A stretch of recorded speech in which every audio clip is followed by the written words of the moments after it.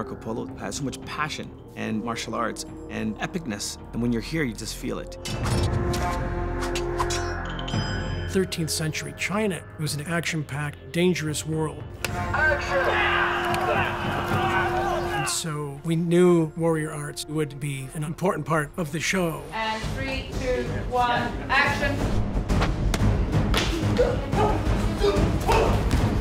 John wants us to do this sort of stylistic martial arts style, something totally different. And he brought in guys in from Mongolia who were advisors to authenticate things.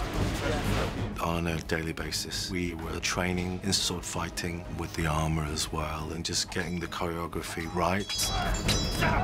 My schedule was wake up in the morning, martial arts training, then archery, then in the afternoon, horse riding.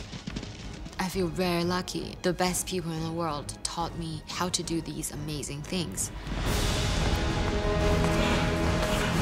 My character is one of three kung fu masters on the show. So the training for this role was a really important part of making my character powerful. I love how strong the women are in the show. They totally keep up with the men. All the actors did all of their own fighting.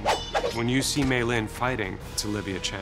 When you see Uli, who plays Byamba, fight, it's him.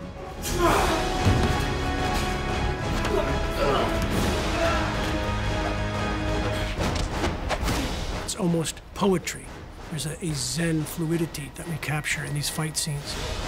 The amount of talent they pulled in, I'm really impressed. It's grand. It's the best show I've ever worked on.